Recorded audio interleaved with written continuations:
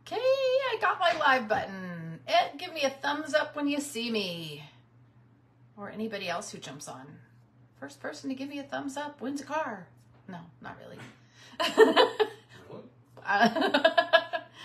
Gosh, if I got everybody to rush and hurry up and, and jump on, maybe. What kind of car? All right, I got Ed's thumbs up. Okay, hi guys. All right, first of all, I said that I was going to jump on here in the morning because I was going to do a crock pot recipe with you guys. Well, I forgot. I had so much going on this morning. New month, new goals, getting everybody started up for the get, getting things set up for the new um, jump program that we do. All of that. That um, we also had somebody come out and give us look at our kitchen remodel and give us um, some ideas on that. So it was just a busy day. I never got it done. By the time I was getting ready to leave to go to Pilates, I was like, oh crap, it's a little too late to do a um, a crock pot meal. So anyway, still quick and easy, still something that I actually did a double batch of last time and then um, put in the freezer for a night like this when I'm it's late and um, last minute and hello Meg, how are you? I don't think I have seen you in forever. So anyway, um, I'm going to show you what we do with spaghetti squash and um, I have some, this is leftover hamburger and um, uh, pork. I um, made something else. I don't remember what I, I made something else in a keto kitchen that I made, like a, I had a double batch of it. And um, so I just went ahead and fried it up. Um, I put it in a Ziploc bag. I labeled it and I put it in the freezer. So um, I'm just, I just grabbed that um, I've got that in here. I'm going to get this going. This is still even partially frozen. I'm going to use some Rao spaghetti sauce. Um, I like this brand because this brand uh, doesn't have any added sugars. There's lots of different varieties of it. So I'm going to use some of this in here.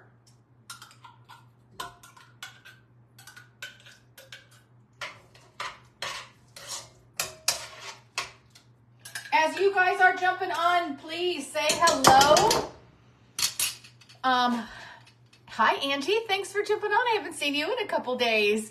As you guys are jumping on, say hello. Let me know where you are coming from and what was your weather like today. We had a beautiful day. We still have snow. There's still some snow left, but um, sun was shining and it was it was great. It was beautiful. So I think her high might have been like 47 or something like that, but it was enough to melt some of the snow. So super glad. So let me know what, um, thank you. Uh, thank you very much, Meg. She said, I look great.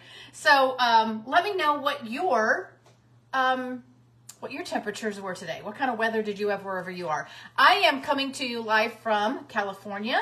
Um, we don't usually get this much snow, so this is a little bit, uh, a little bit out of the ordinary, but Hi there. No, oh, you don't have any electricity where you are? No snow. It's warm with thunder showers. Oh no, Angie, I don't remember where you live. What what state do you live in? Um, so anyway, all right. So this is how I do spaghetti squash. There are a couple different ways that you can do it. I think I want a little more in there. Um, you can cut it this way, short ways. You could cut it long ways. In the past, I have taken it and like taken a gigantic knife and just tried to stab into it to get it some um, holes into it. So what I have started doing lately, the last couple times, and this has worked pretty good, is I've taken the whole spaghetti squash, put it in the microwave for five minutes. That seems to soften it enough so that I could take a big knife and cut it in half. I've also recently started cutting it this way instead of long ways. I don't know that there's an advantage one way or the other. This way fits in a casserole dish like this, which fits into the microwave a little bit easier. I'm also going to put everything in here um, and pop it under, uh, pop it back in the microwave just to melt the cheese. So I'm going to use my um, Ove Gloves. Do you guys have these? Anybody have Ove Gloves? And um, to hold on to this and to scrape it out, I'll show you kind of what it looks like.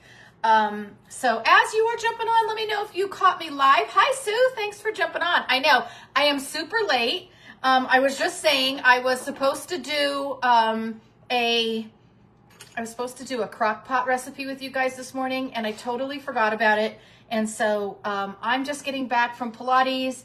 It is after seven o'clock here, but I just thought I'd jump on and see, in case you are new to keto, you might be new to spaghetti squash. So this is kind of how I do it. So if you have any other ideas or tips or tricks about it, make sure you put it down there in the comments because I would love to know if I'm providing any value for you with any of my recipes, my tips, my tricks, my product reviews, grocery hauls, any of that. Please put value down there in the comments. It gives me the thumbs up and lets me know that I am bringing you something that is of value to you.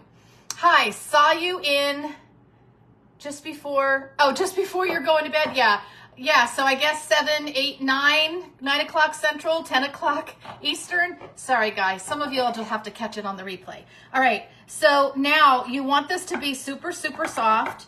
And this is all I'm going to do. I'm literally going to, so when I put it in the microwave for the five minutes and then I cut it in half, I scoop out most of the guts on the inside because I want to get rid of all of the seeds. I want all the stringy stuff, but I don't want the seeds. If you like the seeds, you can toast them, salt, pepper them, and go ahead and toast them. But I just, um, yeah, so I just, I just threw those out because I'm not, I'm, I'm, I'm, I do like seeds, but not necessarily spaghetti squash ones. So this is super soft. So it just is going to shred right off of here. Super easy. I put some butter on here, a little bit of salt, um, when I put it in the microwave and I microwaved it. So once I cut it in half, so five minutes to make it soft enough to cut it in half. Once I cut it in half, I put it in back in the microwave and I cooked it for um, 20 minutes is what I needed. I did two rounds of 10 just to check on it and um, stab it and see if it's done. As soon as it is soft, it is done. All right, so see you guys. It's like, just like spaghetti. So I'm going to put that. Here's the other one. It's got, like I said, it's got some butter. It's got some salt. I usually put pepper. I think I just missed, I missed that. So um, my meat is leftover meat from something that I made last week or, or a week or two or whatever from a keto kitchen. I had some extra hamburger and pork. So I went ahead, threw it in the pan, cooked it up, and then labeled it, put it in the freezer in a Ziploc bag, and that's what we're gonna use as our, as our sauce. All right, so I'm gonna take this. This is our meat, whatever meat you wanna do it with, turkey. I've done it, I've actually done it with shredded up chicken and um, that was really good. So however you like kind of your spaghetti uh, meat sauce. Do you like it really meaty? Do you like it really saucy? Ed, ten, Ed likes it really meaty, so that's why I'm making it. I'm also going to put, this is a Prego, Prego's roasted garlic parmesan. I love red sauce and I love white sauce and I love the two of them together. Um, so I'm going to put a little bit of this in there. This isn't, this is dirty keto. Okay, if you are following a strict keto diet, if you are counting macros, if you are eating clean, this would be considered on the dirty keto list because of the ingredients that's in it. Although the ingredients are not not bad. So I'm, I mean, I there's nothing in here that I'm not feeling okay about eating. If there's also no, there's like one gram of sugar in here and not even very much. What are the carbs in this? Mm, grams of carbs in this whole container. So it is mostly heavy whipping cream and garlic and Parmesan cheese. That's pretty much what it is. So I'm okay with that. Rao's is the spaghetti sauce I use. Rao's also makes a white sauce. Just so just a little bit. I just it's gonna I guess we're gonna have pink sauce. Um, I just like that combination. I like that little bit of garlic. I like that little extra cream. All right. I'm gonna pour this in here.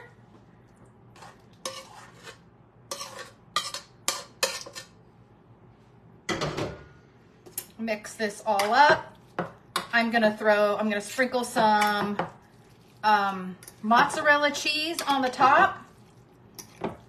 And then I'm gonna pop, pop it back in the microwave just long enough to melt the cheese, or you could pop it in uh, the broiler. If I had a little bit more time with you guys, I would do it in the broiler. Um, that would make your um, the, the top of your cheese all nice and bubbly and kind of toasty. That would be really good. And um, this is our dinner. And like I said, because I used leftover meat, oops, I got a couple seeds in there. Sneaky seeds. It's all right. We'll catch it. So that's all I got for you guys. Thanks for jumping on with you with me. I know it's late.